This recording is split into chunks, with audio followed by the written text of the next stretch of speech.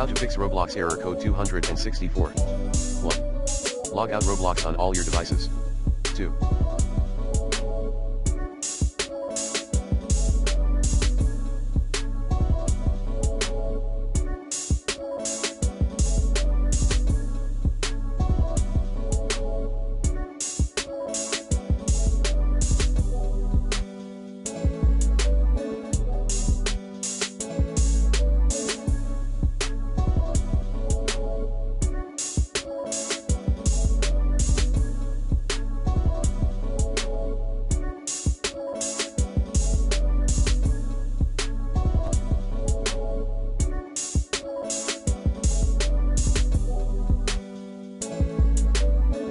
The Roblox cache at percent 10%.